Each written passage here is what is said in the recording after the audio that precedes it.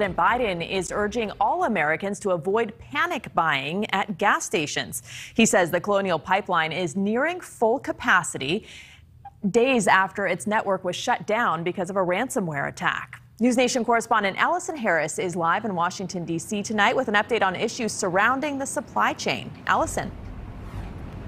Rudabeh Bay fuel is flowing again through the largest pipeline in the U.S., but the president warns this doesn't work like a light switch.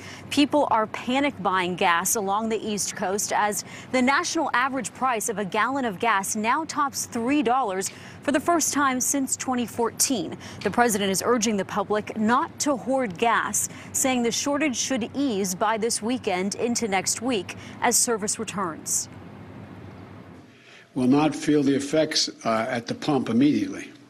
This is not like flicking on a light switch. This pipeline is 5,500 miles long.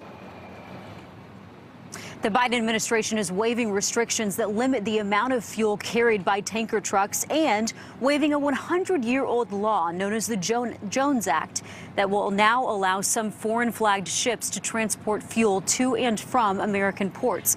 The president has signed an executive order aimed at enhancing our country's cybersecurity defenses, creating digital safety standards, and requiring companies that contract with the federal government to report vulnerabilities or attacks when they happen.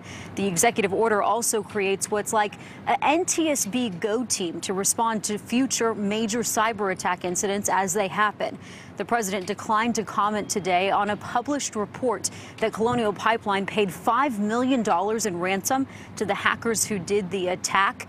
GasBuddy is predicting that this will be cleared up as people get ready to travel for Memorial Day weekend, but right now it's affecting many Americans just trying to fill up their tanks.